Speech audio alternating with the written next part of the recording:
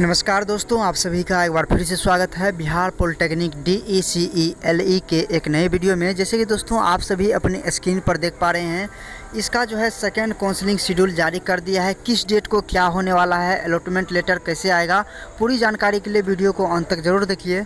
और जो भी मेरे नए साथी हैं, नए भाई बंधु हैं चैनल को सब्सक्राइब करके घंटी ज़रूर दबाइए। और दोस्तों फ़र्स्ट काउंसलिंग में बहुत सारे ऐसे स्टूडेंट थे जो यह बताए कि हमको पता ही नहीं चल पाया, हम जो है अपग्रेड ही नहीं किए सेकेंड में मेरा नाम आएगा या नहीं आएगा। तो दोस्तों, पूरी जानकारी के लिए वीडियो को अंत तक ज़रूर देखिए और इस वीडियो को फैला भी दीजिए, जिससे कि कोई भी स्टूडेंट छूट नहीं पाए। तो चलिए दोस्तों, वीडियो को स्टार्ट करते हैं। तो यहाँ से आपको अपने किसी ब्राउज़र में इसके ऑफिशियल वेबसाइट को ओपन कर लेना है और यहाँ से D E C E L E के सेक्शन में आ जाना है। तो यहाँ पर देखिए तो अभी अभी एक नोटिस पब्लिश किया गया है, जो ग्यारह के दिनांक में है, जो अभी पब्लिश हुआ है। हम इसे ओपन कर लेते हैं। ओपन करने के पश्चात जैसे ही आप इसे देखिएगा तो यहाँ पर देख सकते हैं, आज दिनांक का और यहाँ पर जो पहला जो इसमें रूल दिया गया है कि क्या कैसे होगा तो यहाँ पर हम पूरी जानकारी को शॉर्ट में ले लेते हैं। तो यहाँ पर जो दिनांक पाँच ग्यारह से लेकर छः ग्यारह तक संपन्न किया गया प्रक्रिया जो उपरांत है, उसके बाद जो भी सीट बच गया है, उसका डॉक्यूमेंट वेरिफिकेशन एवं नामांकन संबंधी क्रियाक्रम जो है निम्नवत है। तो सेकेंड राउंड का प्रोविजनल सीट अलॉटमेंट लेटर आएगा सबसे पहले चौदह नवंबर को आएगा। चौदह नवंबर को आपको सबसे पहले अपना provisional seat allotment letter download करना है। जो भी स्टूडेंट अपग्रेड किए थे, उसका भी इसी में सम्मिलित होगा और जिसका अभी तक नहीं आया है, उसका भी इसी राउंड में आ जाएगा। तो आपको चौदह नवंबर को second provisional seat allotment letter download करना है। इसके बाद यहाँ पर देख सकते हैं ये तो सौ करेगा और यहाँ पर ग्यारह से लेकर के सोलह तक आप डाउनलोड कर पाएँगे। और यहाँ पर देखें तो उसका डॉक्यूमेंट वेरिफिकेशन जो होगा सेकेंड राउंड का वह होगा 16 से लेकर के 17 यानी कि 16 और 17 को होगा।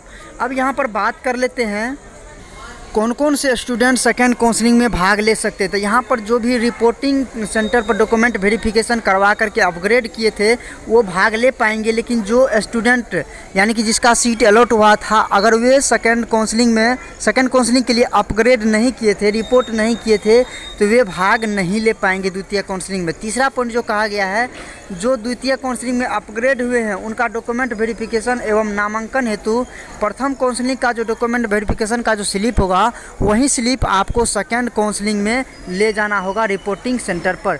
तो रिपोर्टिंग सेंटर आप लोगों को इसका जो सेकेंड अलॉटमेंट लेटर डाउनलोड कीजिएगा, उसी पर आपको रिपोर्टिंग सेंटर मिल जाएगा। कॉलेज का भी नाम उसी पर रहेगा, कहाँ पर आपका एडमिशन होगा, किस डेट को होगा, पूरी जानकारी आपको उसी पर मिल जाएगा।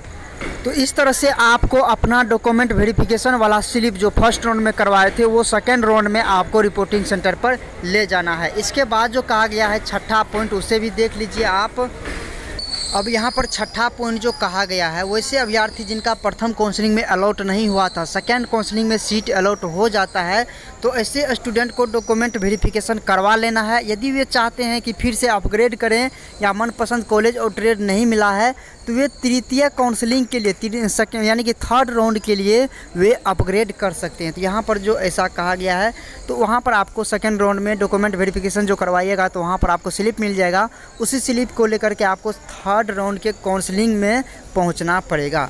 तो इस तरह से वैसे अभ्यर्थी जिनको सीट आवंटन सेकेंड काउंसलिंग में प्रथम बार हुआ है, उनको डॉक्यूमेंट वेरिफिकेशन करवाना अपग्रेड करवाना अनिवार्य है। अगर वे डॉक्यूमेंट वेरिफिकेशन नहीं करवाते हैं एडमिशन नहीं लेते हैं या अपग्रेड नहीं करते हैं तो वे तृतीय काउंसलिंग के लिए योग्य नहीं होंगे।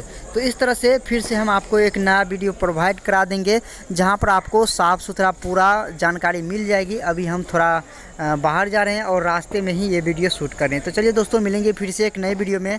तब तक के लिए धन्यवाद।